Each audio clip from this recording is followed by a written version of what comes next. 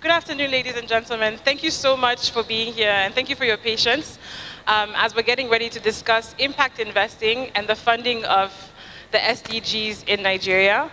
Without any further ado, I would like to call upon Maria Glover, who is the project lead at the Impact Investors Foundation of Nigeria, and she's going to give a brief overview of what we're going to be discussing, impact investing, the sustainable development goals, and how we bridge the funding gap in Nigeria. So please put your hands together for Maria Glover, who is the project lead of the Impact Investors Foundation of Nigeria. Thank you.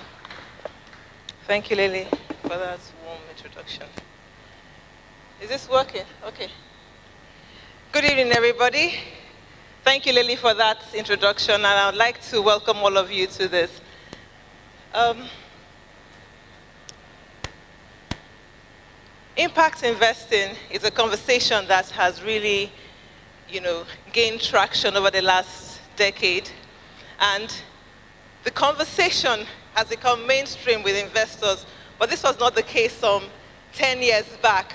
And if you look at our challenges that we are facing, our social and environmental challenges, they've really grown over this past 10 years. If you look at the inequality, the number of people living in extreme poverty have increased. Let's take a look at Nigeria. We have 95 million people living in extreme poverty. And 50% of that amount live on less than $2 a day. And if you ask, why impact investing? Impact investing is a strategy that we can use to fund the SDG, and from the slide there, you can see that the market has really grown. From 2007, when impact investing was first coined, the Global Impact Investing Network tried to measure the size of the market. And in 2013, the size of the market is about 35.5 um, US dollars. As at today, that market is about two 502 billion US dollars in total assets under management held by over 1,203 um, impact investors. And when you look at Nigeria, impact investing too has grown significantly from 2015 when the total capital deployed for impact investing was $1.9 billion. As at September last year, that amount has uh, it's become 4.7 billion US dollars. So there's a lot of conversation, the traction has grown. And if you want to ask why impact investing, I can answer that question for you quite frankly and happy to do so. And also to make a case why we need more people, more investors into the impact investing space.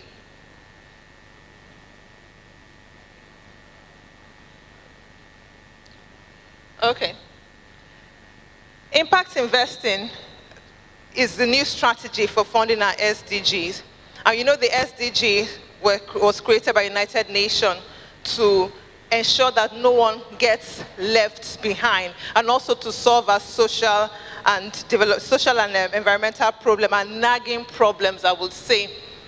The UN um, conference, um, UN UNCTAD, it's called, they actually said we will require about four to seven trillion dollars in capital expenditure every year in order to achieve our SDGs by 2030. That's a whooping amount of money.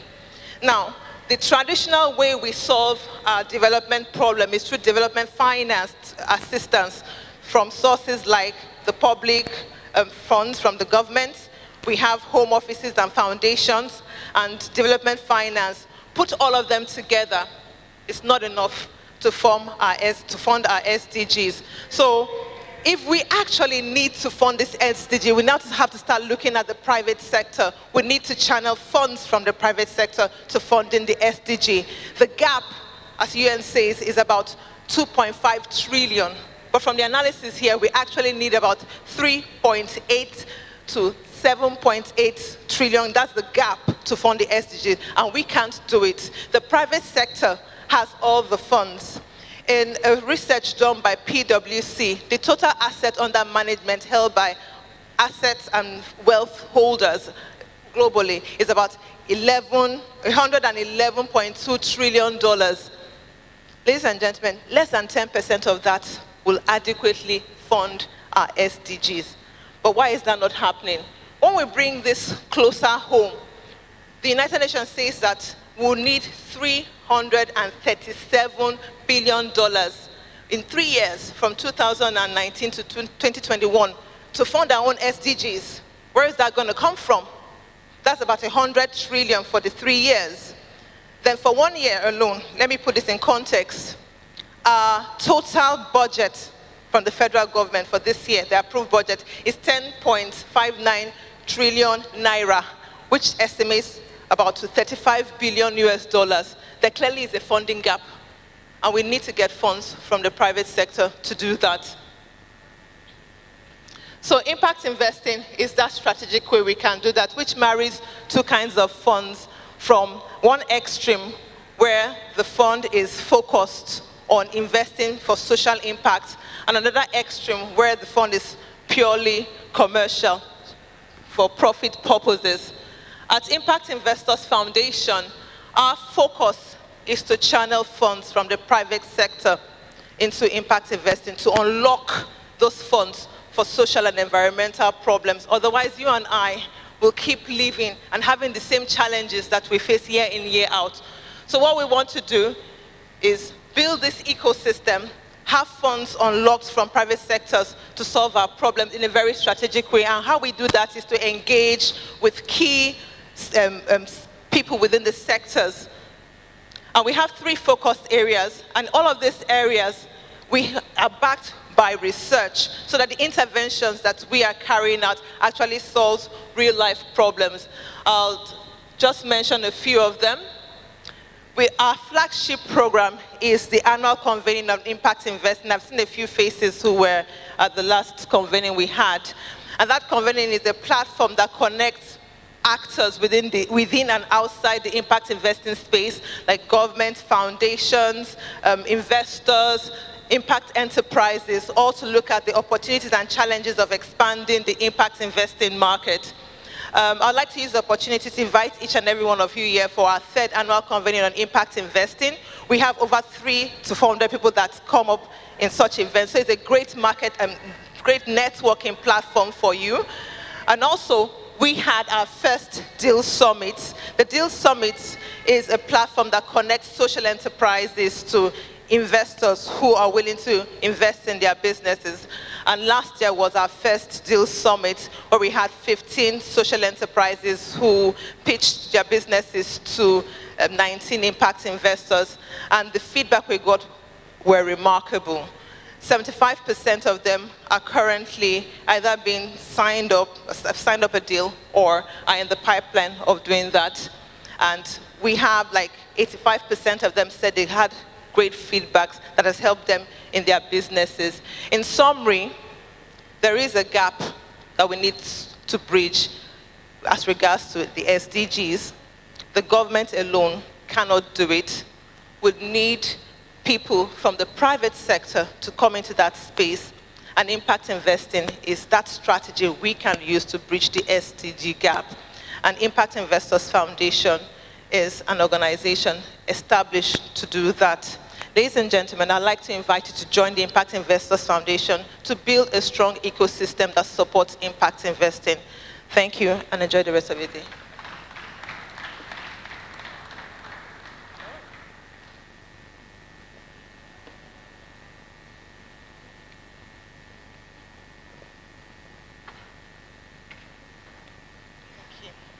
Please put your hands together for Maria Glover, the project lead of the Impact Investors Foundation.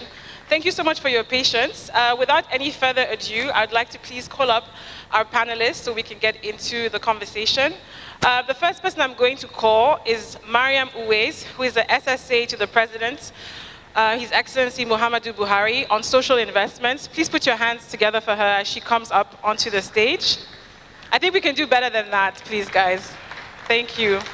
Um, Sam, Sam Nwanze, who's the Chief Investment Officer at Heirs Holdings. Please put your hands together for him. Professor Yinka David West, Academic Director at the Lagos Business School. Please keep clapping for her. Dr. Abasi Ene Obong, who is the CEO of 54 Gene. Put your hands together for him.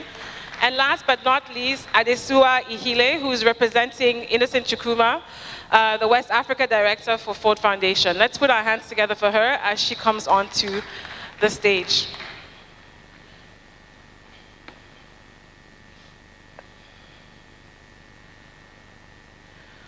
So to all our panelists um, and to our audience members, thank you for being with us, and thank you for traveling from you know far and near to be with us as we discuss this very important conversation on impact investing and the funding of SDGs in Nigeria.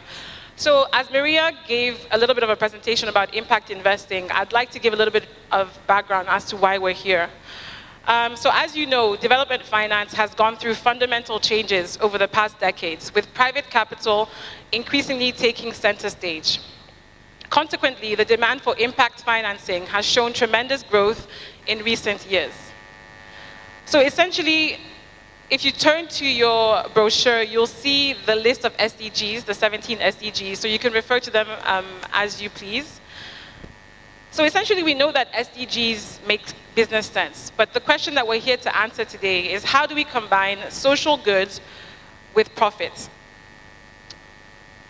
So my first question is for Dr. Yinka David West. Um, as an academic, you know that impact investing is an investment method that is picking up momentum in various parts of the world. Um, impact investments are investments made with the intention to generate positive, measurable social, environmental, and climate impact alongside a financial uh, return. Given your academic research, what does this look like in real life? Can you give us some examples of some impact uh, related businesses in Nigeria so that people can have a context as to the kind of businesses that we're talking about when we talk about impact investing.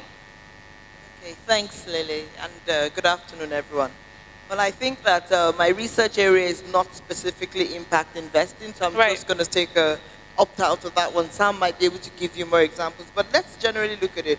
I think the whole idea is typically when we're making investments in business, we're looking at economic value alone. And I think what we're trying to do with impact investment is let's broaden the scope and take it away from this um, corporate social responsibility and not-for-profit mentality.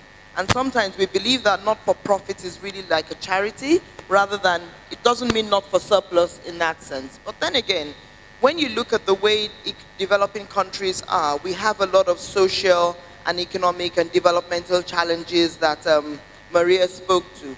How do we address those challenges and how do we close those gaps? We need interventions. Interventions cost money. And those interventions must be sustainable in a manner such that they can continue on their own and become their own life source. So when we talk about impact investing, I think one impact investing investment that it comes to mind is M-Pesa. So a lot of us think about M-Pesa and Safaricom as the mobile money tool that broke the back of financial inclusion. But then again, the initial seed money came from DFID. And that's an impact investment because it wasn't just about build a platform, it was about empower people financially. So when you think about impact investment, it's really about what is the, what is the theory of change and what is the secondary impact and outcome on people's lives and real people, not just that we're going to do ABC and make a lot of money out of it. So in somewhere like Kenya now, not only has it empowered individuals, it's created a, whole new job class called agents. And these agents are also employing and providing financial services and feeding their families. So when we look at impact investment generally, there are two ways to do it. You can do it directly or you can do it through an, an impact accelerator program, for example. In Nigeria, CC Hub, one of the um, technology hubs, actually does some impact um, accelerator programs, and that it's out of one of those that the company called BudgIT came out of. So when you think about, okay, why did they do this? They did a weekend acceleration program for civic tech because they, one of the challenges we realize is that people don't have enough information and knowledge on governance and civic duties and responsibilities. And that's how BudgIT came about in general. So monies went into that, and monies are still going into BudgIT. So it's about how do we empower citizens to make governments more accountable. Another impact investment is a company called Pagatech, which we know does um, financial services and financial transactions. Mm -hmm. And the list go goes on and on. All but right. then again, you find out that direct impact investment into businesses is the other area. All right. Thank, Thank you, you so much for that. Um, so speaking of government, my next question is for Mrs. Maryam Uwais. Um, so currently, there is an 118 trillion, um, there's 118 trillion dollars in the global markets. Um, evidence shows that in developing nations such as Nigeria, the government does not always have the full capacity and cannot be held solely responsible for solving socio-economic issues. The growing impact investment market provides capital to address the world's most pressing challenges in sectors such as sustainable agriculture, renewable energy, and so on and so forth. Um, how is the government providing an enabling environment for impact investing in Nigeria? So thank you, Leila, and good afternoon, um, everyone. The government has been providing money, but it's budgeted from the, the impact investing um, arena is rather new, and we have been trying to engage the private sector to actually invest in programs that are driven by, the challenge, of course, is that government, if you want scale and you want, um, you want convening power, government has to have um, some role to play. Um, we started four programs in the past, 2015, and I remember going around trying to get the private, private sector interested. But just like many of the politicians, the private sector wants to see returns on investment, immediate returns on investment. And the, the area, the social sector takes time. It's not a tangible return in the sense that it's, uh, it takes three to five years for you to begin to see the results. And I remember when I engaged the NESG, one of the things they said to me was you need to develop the economic value chain to make it visible for the private sector to be able to invest because they're not going to take risks with the kind of leaks and the wastages that we see in the public sector. I think it's very important for there to be um, a very close partnership between the public sector and the private sector.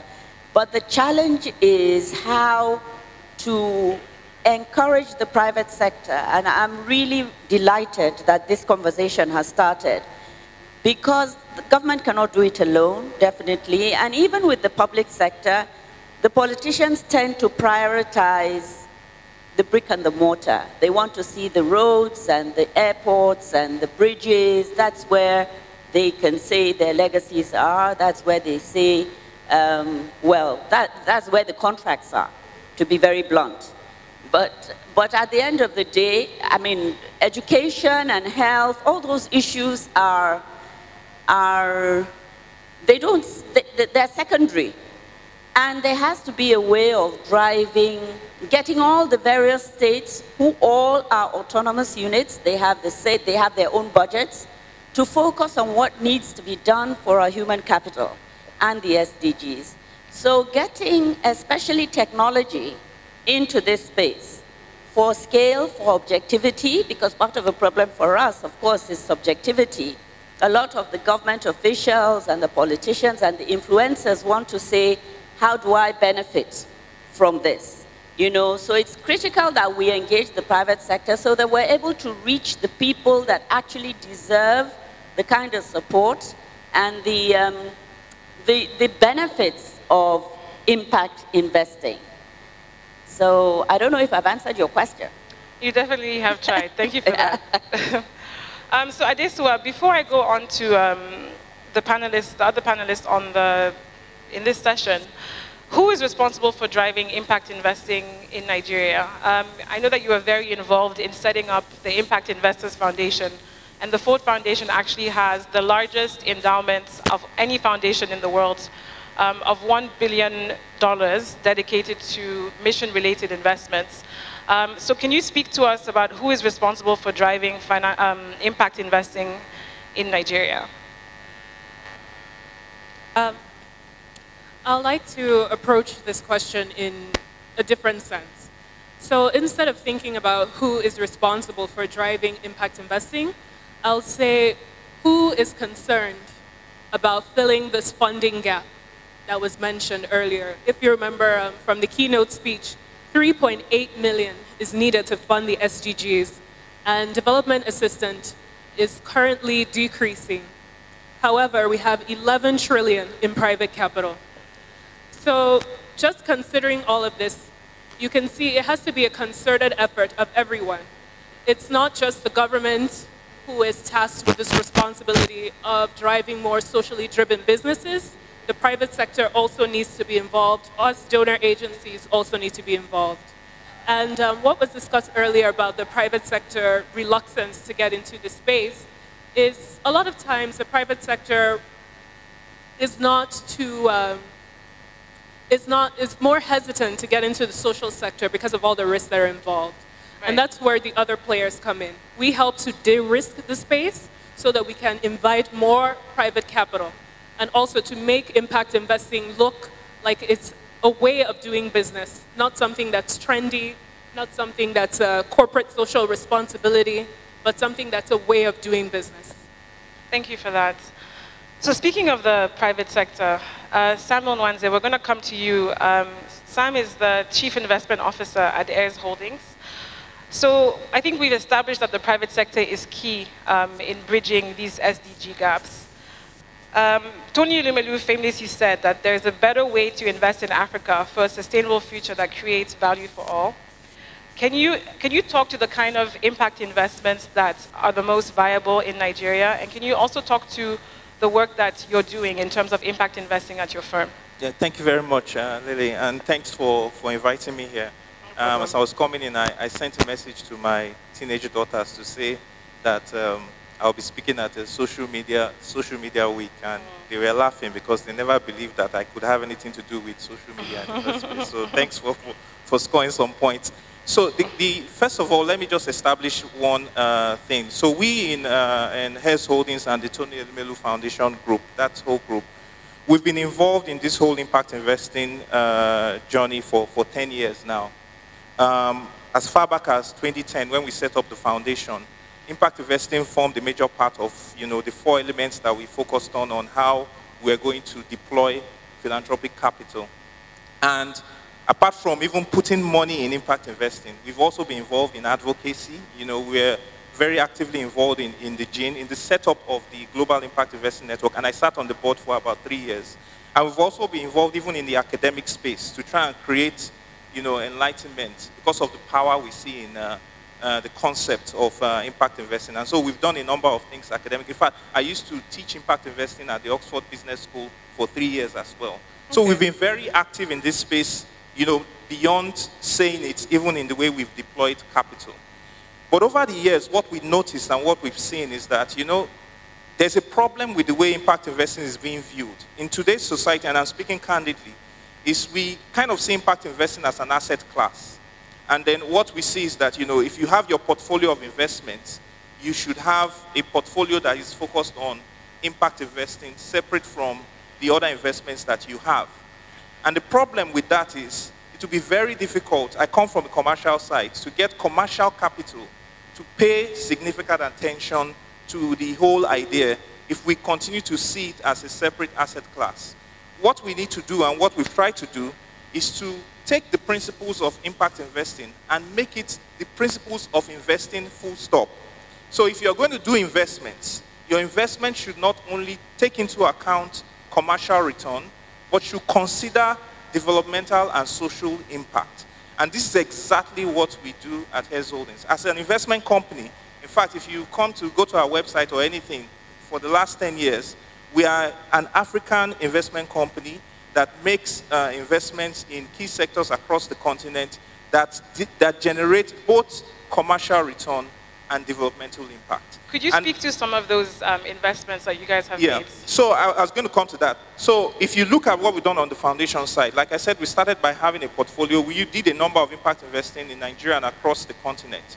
But we began to see that it was more important to create entrepreneurs because if we focus on developing a, a, a sea of entrepreneurs on the continent.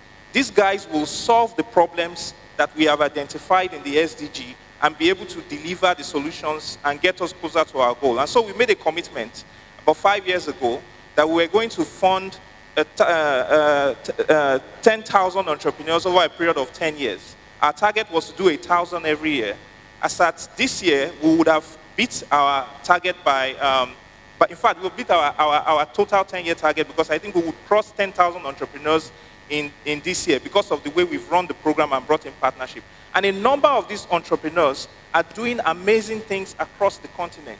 They are creating jobs, they are dealing and addressing issues and problems that you identify in the different areas and helping to provide that return, both commercially and social return that we are trying to uh, achieve as, uh, as an organization.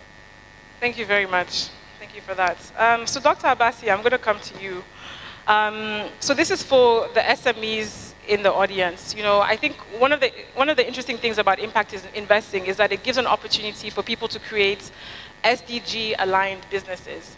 Um, so Dr. Abasi, you are the founder and CEO of 54Gene. Um, your company is an African genomics company that was la launched in January 2019.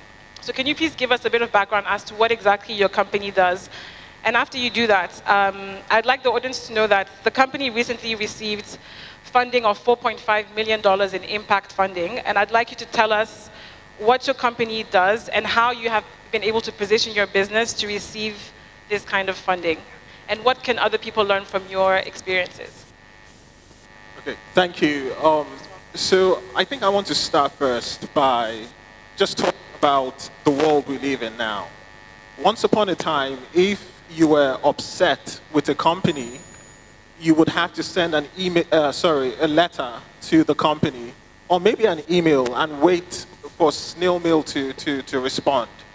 Um, but in today's world, because of interconnectedness, and that's why we're here, Social Media Week, if as a company I am doing things that you don't agree with, you could take me to Twitter, right? And as soon as you go on Twitter, you've, get, you've gotten the attention of the CEO.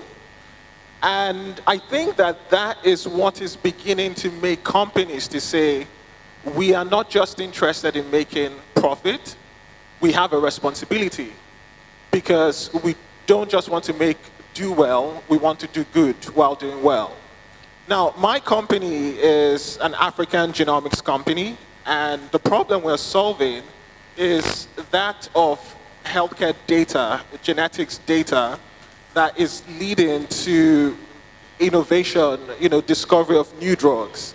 In today's world, almost every major new drug being discovered is being discovered as a result of human genetic evidence.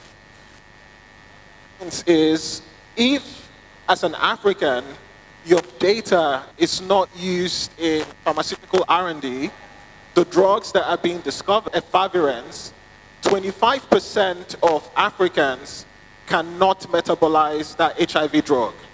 So if there's five of us here, at least one person will take that drug and have terrible side effects.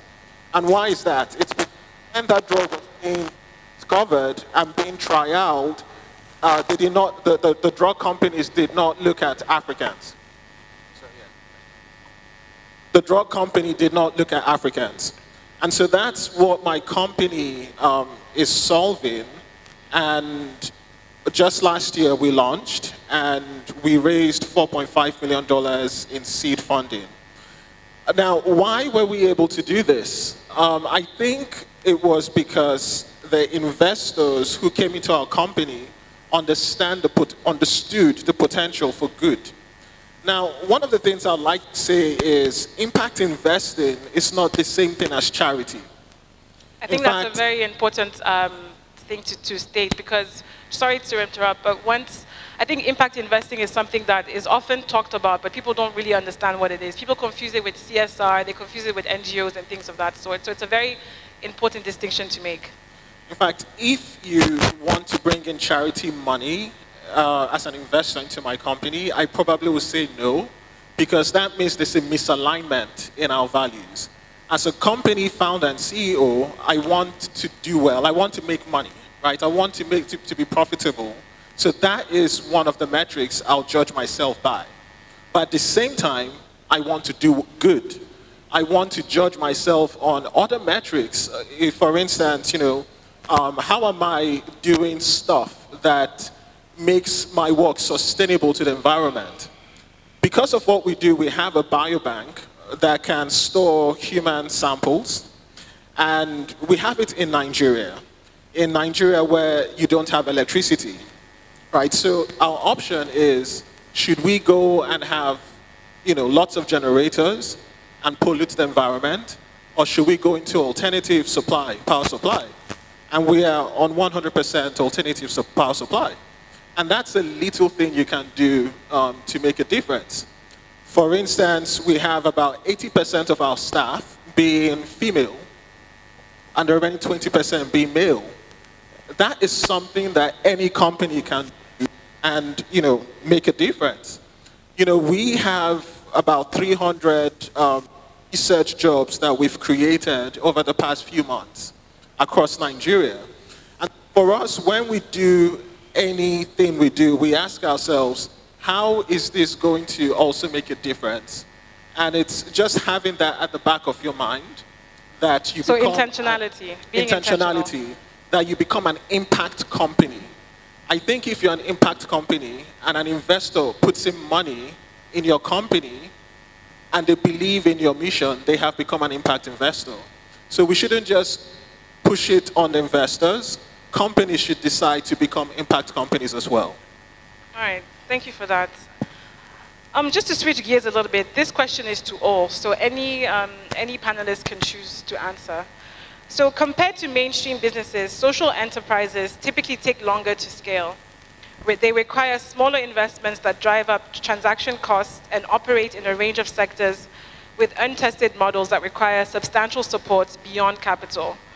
What will it take to foster impact investing for social enterprises? Essentially, how do we create SDG-aligned SMEs? And that question is for anybody on the panel that would like to answer. Okay, thank you. Um, so um, one of the reasons why I wanted to tackle that question because it's one that we face on a, on a daily basis. Right. Um, we have a portfolio of entrepreneurs, um, about 9,000 of them now across the continent. And many of them, like I said earlier on, are trying to solve problems that are targeted at SDGs. And they face significant challenges, which we, over the years, have been able to categorize. One is we need to train a number of these people to become um, managers of businesses as opposed to just being people who have ideas. And in order for, in, so because when we're able to do that, these people will be able to create businesses that are sustainable in the long term and also be able to multiply the impact that they are doing in the society.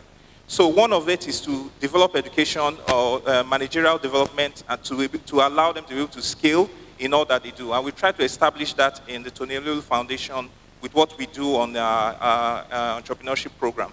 The second thing is to provide access to some form of capital that is commercial. And what I mean by that is that, like he mentioned, we have to stop seeing, uh, we have to look at this uh, these SMEs, these small businesses, as businesses and help them to instill in them the discipline to be able to take capital and return capital with a return. Because when they do that, it enforces them to take certain, to conduct their businesses under certain business principles that allows some of these uh, multiplication factor on, uh, on their ability to be able to solve these uh, solutions. The third thing is to create a network. What we found at the foundation was a number of the uh, entrepreneurs we have in our portfolio have solutions that address problems that other entrepreneurs in different parts of the continent are seeking to, to deal with. And so creating a network where they can all come together and be able to interact and, uh, and they can you know, share ideas and also help to deal with each other's problems we found to be very effective. And so we, we also developed a, a, a, what we call TEF Connect, where we say platform where we have, you know, all the entrepreneurs, we have mentors on the platform, people, investors on the platform that come and there is this network that is buzzing that allows these entrepreneurs to flourish over time. So here are some things that I think are important to put in place to allow these things to work. Thank you for that. Does anybody else want to chip into that question? Sure. Um, I'll just share very briefly. Um, so from Ford Foundation's perspective, we approach impact investing in two separate ways. First of all is through our grant making, or you could call it our program-related investing. We deploy capital with little to no expectation of returns under our program-related investing. And we do this because we want to de-risk these social enterprises so that they can receive more capital. I'll give an example. Um, if anyone has heard of the Made in Aba campaign, I don't know if anyone's familiar with it. Yes. So we essentially funded the Made in Aba campaign to set up an association of Aba shoemakers so that they could collect lines of credit. And we did this because Bank of Industry had expressed to us that they were interested in extending a line of credit, but they were worried about the possibility of collecting, yes, exactly, risk, the risk of collecting on returns. And so we decided to take on that risk. And by setting up this association through our grant making, through our funding, we were able to de-risk the investment and allow BOI to extend about 4 million naira to these Abbas shoemakers. So let's definitely clap for that. Then on the mission-related investment side of things that we do, which um, you already talked about it, we have that $1 billion fund, which is like the largest commitment. One billion, American, not one million, guys, one billion. One billion USD fund deployed over 10 years. That is the largest commitment by any American foundation. And through that initiative, we're de-risking our investment by working through private equity firms or fund of funders so that we can have them take on the risk and then we can go ahead and you know, deploy the capital. So that's another way that we can also ensure that this capital is reaching people who really need it the most. Thank you for that. Um, and speaking of, of reach, um, okay, go ahead. I think it's two things. What Abasi said in terms of being intentional and having that mindset to have a theory of change that's beyond shareholder value is important. And the example I use in the financial services sector is the deployment of ATMs. Now we can see the controversy over ATM deployments, especially when it comes to the central bank reducing the fees and charges they can charge. ATMs have gone down, cash in ATMs is reducing. So what the question I ask the bankers is, how many ATMs do you deploy around hospitals? And what's the purpose of the ATM? To dispense cash, right? So assuming you take your relative or your loved one to a hospital and you need to dispense cash for that transaction, the ATM isn't dispensing cash. What happens? There's a secondary case of loss of life. But because they're not looking at it from that perspective, for them it's really all about how do we make money from each ATM we'll deploy in every location. That is an impact investment, but it's about changing the narrative rather than looking at it from what's in it for us, but what's in it for society and the common good in general. And I think that's the first step we need to take. How do we begin to take, change the narrative to ensure that we're not looking at only ourselves, but we're looking at everybody else. And it's in doing well. Because you generate more transactions, you help more people, and then we leave a better, we live a better legacy in general. So that's just one example that we need to be mindful about and continually think about. So when we're thinking about investments, yes, Sam, we need to have a business case. But that business case can also be flipped around that what is the converse of not doing this thing? That's a very good point. That's a very, very good point. Let's clap for that. That's, yeah. So, and so I actually want to uh, say something uh, in response to your question.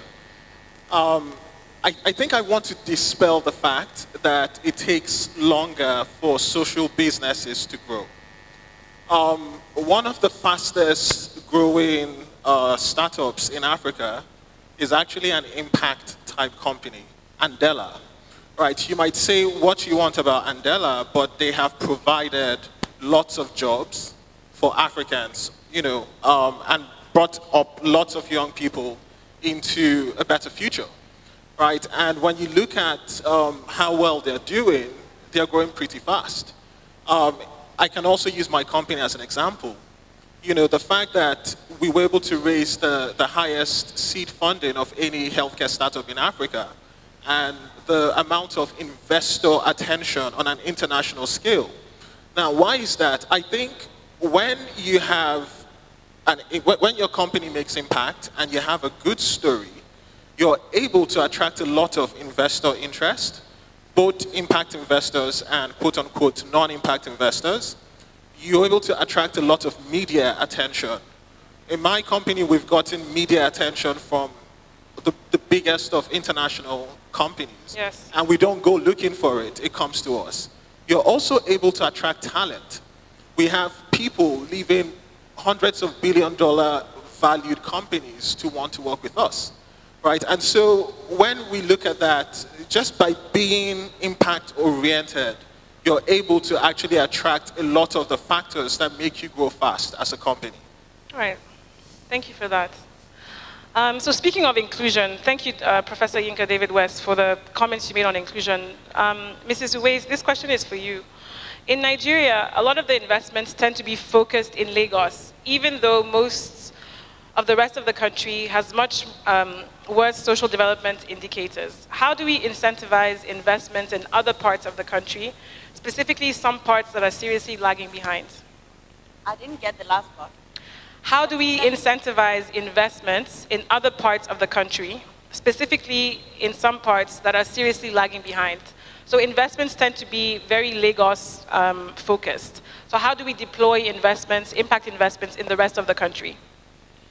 Well, I would say that um, unfortunately where poverty is highest is where we have a lack of um, infrastructure to support a lot of what is required for impact investing. So we don't have the data in many of these areas. We don't have the internet. We don't have um, reception. We don't have energy. But also this provides a range of opportunities. I think it's the fear of the unknown. Right. A lot of people don't want to take risks. But I keep saying that when these um, impact investors actually venture into these areas, if they go in fast, they will be able to shore up a lot of profit, basically because there's practically nothing going on in many of those areas. The important thing, of course, is to convince the um, authorities, the public space, because policy also plays a, a, a very big part in terms of um, the masses of our people, the, not the elite, the elite um, people that live in, in Lagos and in Abuja mm -hmm. um, generally can do their businesses uh, without too much government interference. They can grow their businesses. But policy actually hits very hard for people who are below the uh, poverty line yes. because we have um, instances, for instance, uh, uh I'll give the example of the minimum requirement for opening a bank account um, CBN regulations say you must have a phone um, or phone number. Um, many of the people that actually require virtual wallets don't live in areas, I mean, this is where we haven't cracked yet. Don't live in areas where we have energy, right. where we have reception, you need energy to charge the phones. And even where you have energy and you have reception, many of them, you give them the phones, they just sell them unless there's value coming through those phones. So we've been pushing, for instance, that government or CBN should uh, consider making the NIN number the minimum requirement. And because we have so many fintechs and so many bright people, um, that they can actually try and explore how we can get money to people in those remote areas. Um, they really need to get this money in a very private, very secure manner because um, as Yinka would know under, in the financial inclusion space, when you pay cash, which is what we do with the cash transfers, there are a lot of people that hover around and they know, the husbands know that the women are getting this money. Um, the children or the, the cooks get their, their, their monies um, through maybe the phone numbers of their counselors or their husbands. They get, their, they get the alerts. The women don't know. So there has to be a meeting of minds. The public sector and the impact investors should really approach the public officials that actually can help with policy. And that will enable us, you know, really fast track on the SDGs. Actually belong to um, a group called Catalyst 2030. by their own calculations, this is an international thing. Uh, they say we won't attain the SDGs in the world till 2098. Mm-hmm. So we need to bring it forward.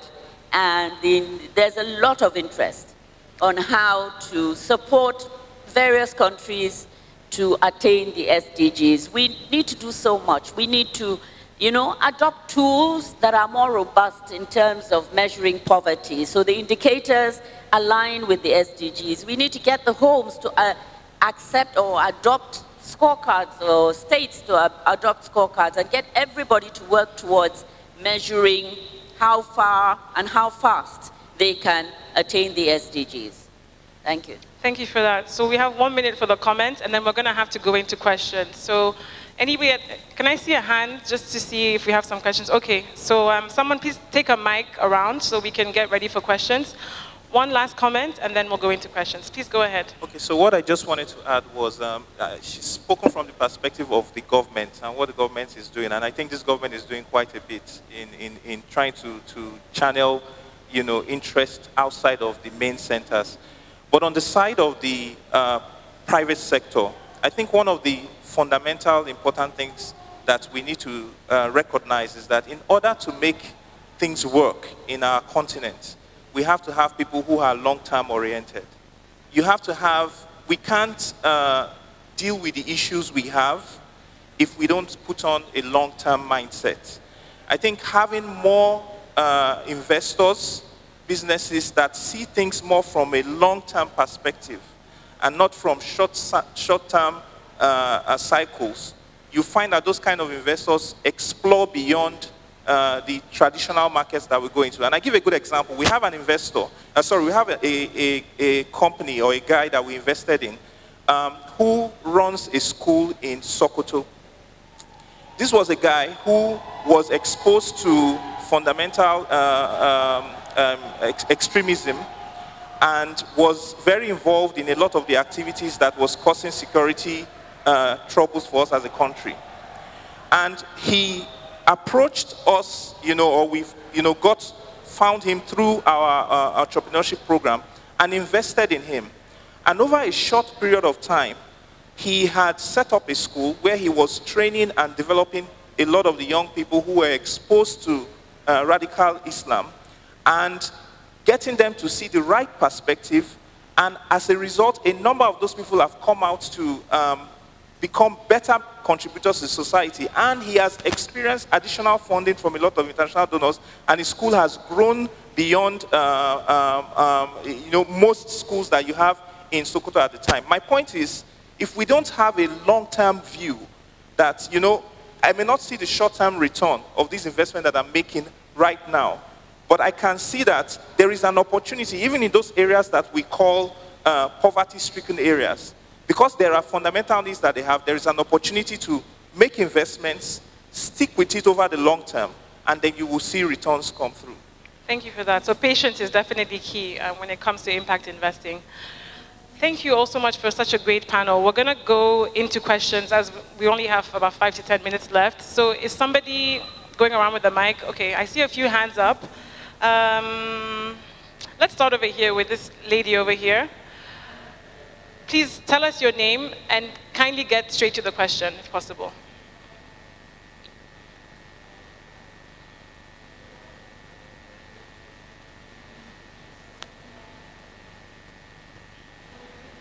Yeah, use this one.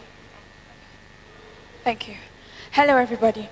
My name is Lydia F. Young, and I have a, thank you so much for your discourse and my question borders on basically... Who's the question for? Okay, it's for um, Sam. Okay. Sam, yes, exactly.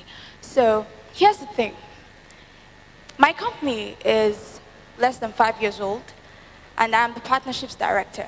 Now, there's a problem that I always encounter when I reach out to brands for partnerships. Now, basically, we work with startups. Now, we are not a Ford Foundation where we can take on their risk, right? So we have to reach out to foundations like yours to partner and actually do things together that will bring about greater increase in impact investment. Now, what are the chances that we have? Because basically new to, in, to the industry. I have had a lot of no's. I have more no's than yeses. I'm so sorry, dear. Can you get to the question? Yeah, exactly. Yeah, thank you. So my question is, what are the chances of partnerships that we have, like if a smaller firm and a bigger firm? Please, thank you. Look, thanks a lot for that question. So just to answer it very quickly, um, there are opportunities for partnership as far as we are concerned, and I know a number of the NGOs you have in the market. I know Ford does a number of things, and a couple of the uh, other NGOs, the major international NGOs that you have in the market. But there are opportunities to partner with you. What we have done specifically is we have created a platform. The platform is called TF Connect, and you can check it out, tfconnect.com. And on that platform, what we've done is we've brought together, you know, entrepreneurs across the continent, um, mentors who are helping to guide these entrepreneurs to do better business, which you you, may fall into, financiers who are looking at opportunities on that platform and engaging with those entrepreneurs uh, directly to fund those investments, we also have on the platforms a networking opportunity where you know all the entrepreneurs and the mentors and all that can network with one another. And on an annual basis, we try to do a forum where we bring all these parties together here in Nigeria and we are looking at other parts of the continent Sorry. where you can interact more. So there are platforms to do that. The point I'm making is that there are platforms for partnership. You can reach out to tfconnect.com and you will see uh, there's, there's a lot that you can do there. So tfconnect.com, just check them out and I'm sure there's something that can happen from that. Um, can we get, okay, a question, we have a question over here. Can we get the mic over there, please? Any of these gentlemen is fine. Please state your name, who the question is for, and a brief question, please. Good afternoon. My name is Gabriel. Uh, my question is directed to Madam uh, Maryam. Um, I think if we want to be realistic with ourselves, um, looking at where we're coming from, uh, from the Millennium Development Goals into the SDGs, uh, the countries, about 72 countries that achieved the MDGs or kind of reach a minimum or a greater target for the MDGs, if we look at how they fund their development, it was largely not donor funding, it was government funding.